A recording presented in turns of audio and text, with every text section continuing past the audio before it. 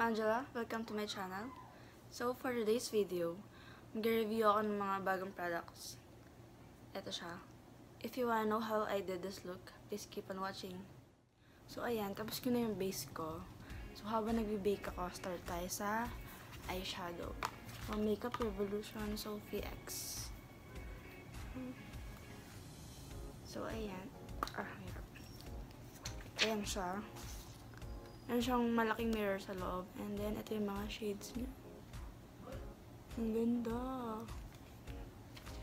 So, ito yung mga shade name na nandito.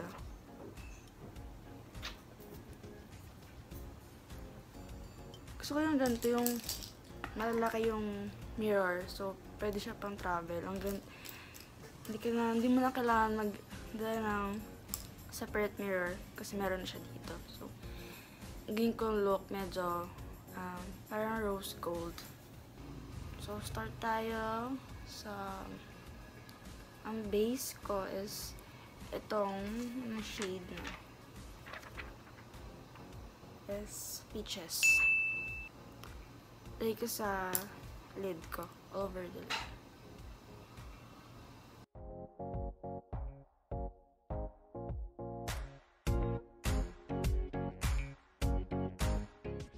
Then, next shade, ang gamitin ko ay ang shade to.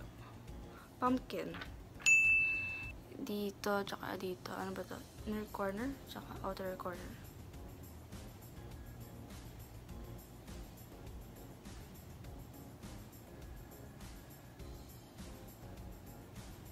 Inner corner or inner part. Correct me if I'm wrong na lang. Di, ko, di ako marunong mag-describe.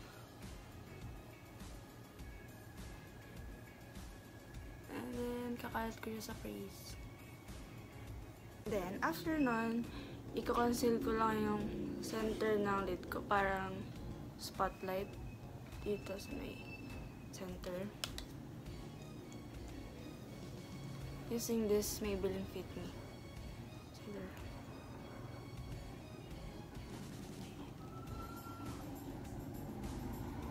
And then, after ko i-conceal, halay ko sa gitna yung shade na Lights. Ito. Using my finger.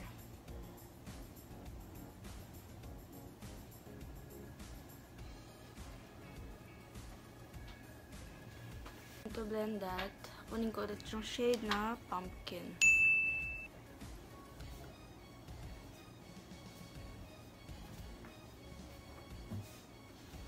Then, kukunin ko yung shade, no,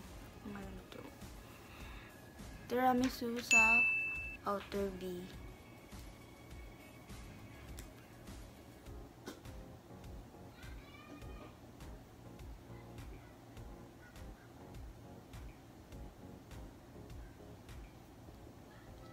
outer V. Damay ko na rin itong may inner corner. Then, before ako mag-proceed sa lower lash, i-blend ko muna tong binig ko.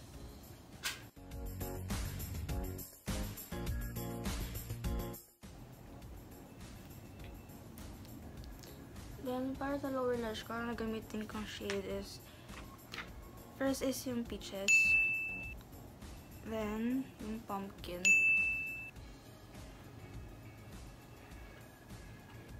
Tapos, yung tiramisu.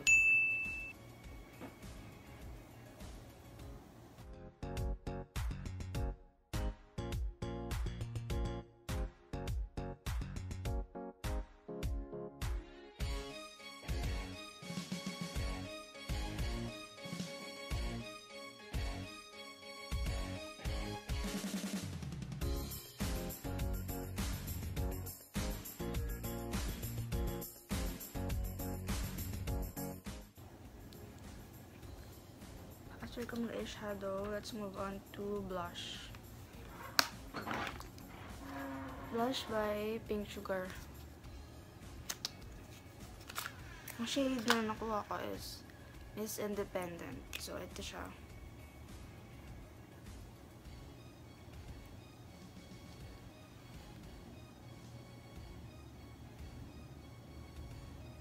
Ayan.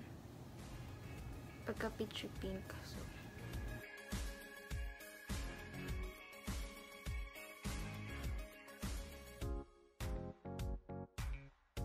blush, next is highlighter by Ofra. Ang shade na to ay Glow Goals.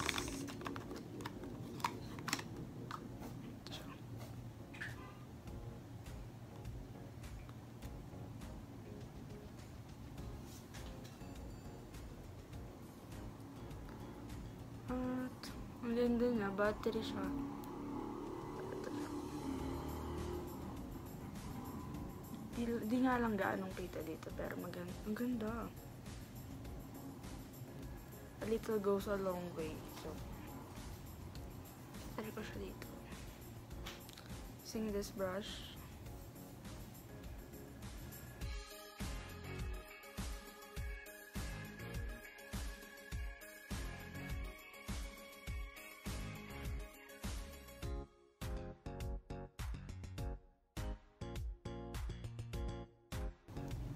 And then,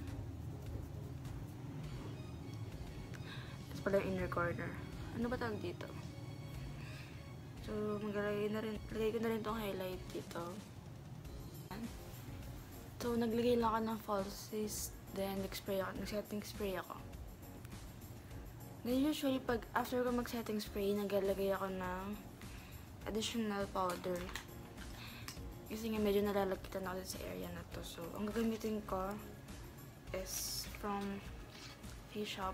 Itong limited collection nila na Coca-Cola. Coca-Cola. Oh, ang hirap po yan.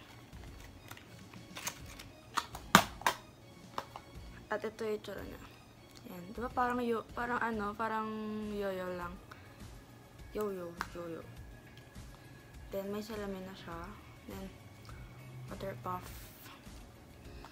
Hindi ko, may, di ko ginagamit yung mga ganito na gamit ko lang brush. So, ayan. Dito sa my forehead. Then, dito. Know.